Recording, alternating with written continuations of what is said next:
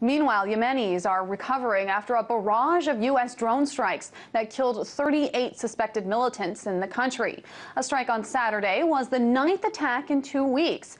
And uh, one of those attacks may, in fact, have killed one of the most dangerous terrorists in the world, that being Ibrahim al Asiri. He is the master bomb maker for Al Qaeda in the Arabian Peninsula.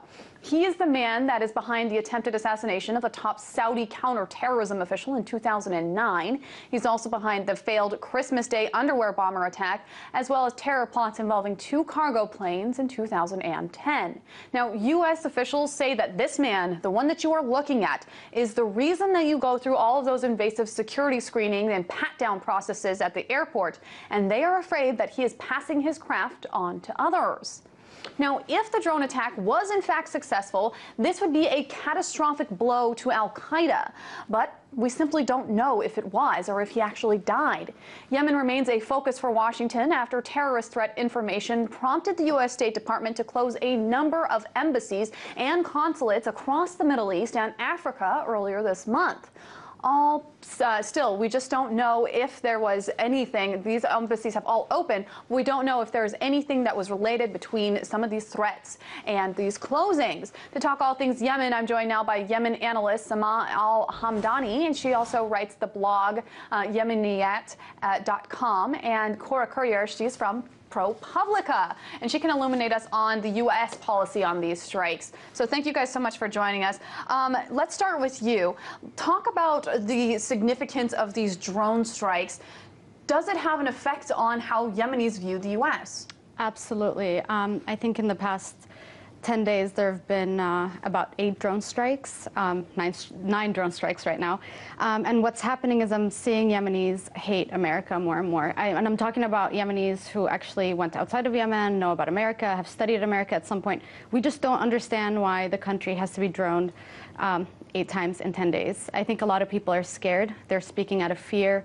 Uh, they don't know what to expect next from the U.S. Now, Cora, what do we know about the 38 Yemenis killed in these strikes? They're called suspected militants by the Obama administration. Um, but what do we really know about their links to terrorism?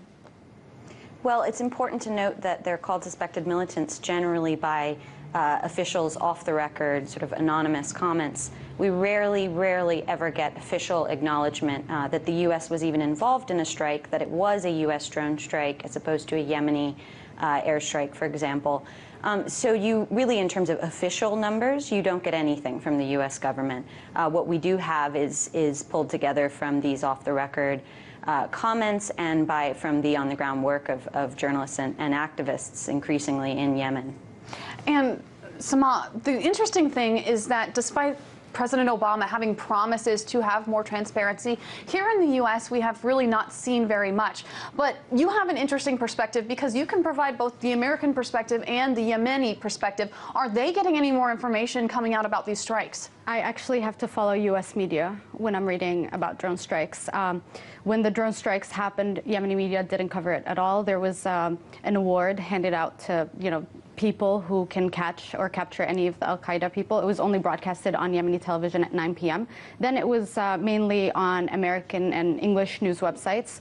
And I feel like a lot of Yemenis don't really know what's going on. Why is that? Don't they have interest in what's going on? I mean, if something yeah. was happening in the back of uh, our neighborhoods, we would know. Well, they want to know. They want to know. But there's a lack of transparency from the government. When the first drone strikes started, um, I mean, in the past 10 days, the Yemeni president was actually here in Washington, D.C., meeting with President Barack Obama.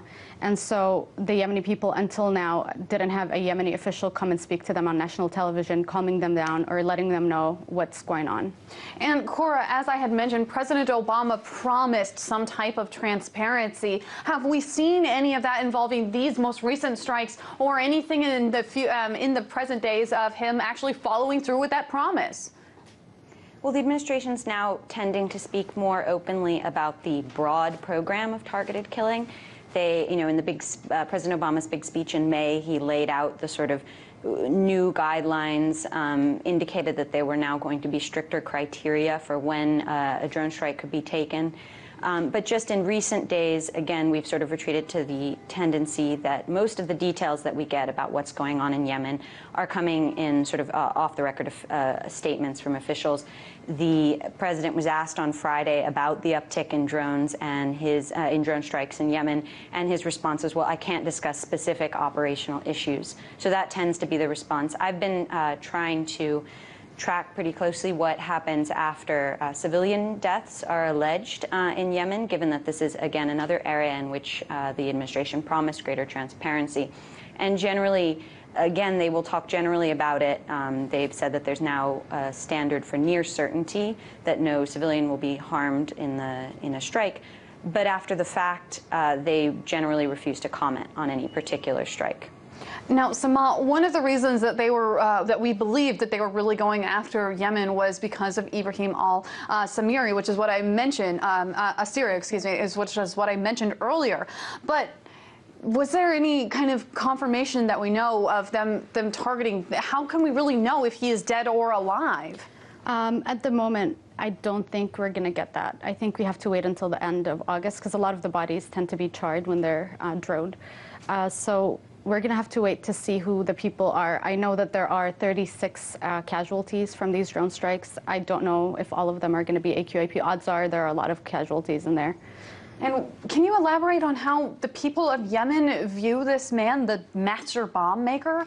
I don't think they view AQAP as a big um, as a big terror threat in Yemen itself because Yemenis, um, more than 60% of the population is living under the poverty line. There's sectarian uh, problems going on in the region. The country, uh, half the country may secede. So when it comes to AQAP, they're not really operating in Yemen. They're not, um, at the moment, they're not the biggest threat in the eyes of the Yemeni people. Very interesting. Now, Cora, your news outlet, ProPublica, tried to uh, determine whether the U.S. was giving out condolence payments to families of innocent victims of drone strikes in general, and also more specifically of these Yemeni strikes. Um, this is the response that you got from a Freedom of Information Act request that you sent out. It says U.S. Army Major General Karl Horst responded, a thorough and good faith search was conducted and 33 pages were located. After a thorough review, I have determined that the information is exempt from release in its entirety.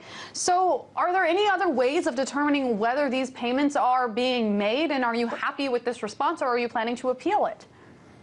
Well, the DoD also told me that they just they told me straight out. A spokesman told me that they are not making uh, the, the DoD has not made uh, condolence payments in Yemen, uh, or I actually asked also about Somalia, given that not not very recently, but there have been U.S. direct actions in Somalia.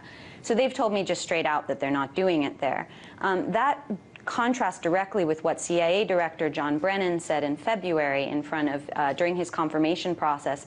He said that the U.S. does, where appropriate for strikes outside of Afghanistan, will, will sometimes offer condolence payments. It was not a very specific statement. He said it um, in his confirmation process. We don't know whether he was referring uh, to the CIA. It could have been referring to Pakistan. Um, there's little on-the-ground evidence that these payments are actually happening. They've, they, they're, they've now become embraced as a tool in Afghanistan. They've been widely used there. Um, nearly a million dollars in last year, in fiscal year 2012, were given out for roughly 300 payments. Um, so, and, and really what those, what those payments also brought in Afghanistan was a way in which when you you would get a sense of the both the scale of civilian injury and the relationship between the civilian population and, and U.S. soldiers. Um, we obviously don't have soldiers on the ground in Yemen. That makes for a different situation. Sure. And as you go forward with this, we are, um, are, asking you to keep us informed so that we can keep our audience informed of everything that ProPublica is trying to do in terms of this FOIA request. Uh, Cora Currier, a national security correspondent with uh, ProPublica, and also Sama Al Hamdani. She's a Yemeni analyst and the creator of the website Yemeniaty.com. Thank you so much. Thank you. Thanks.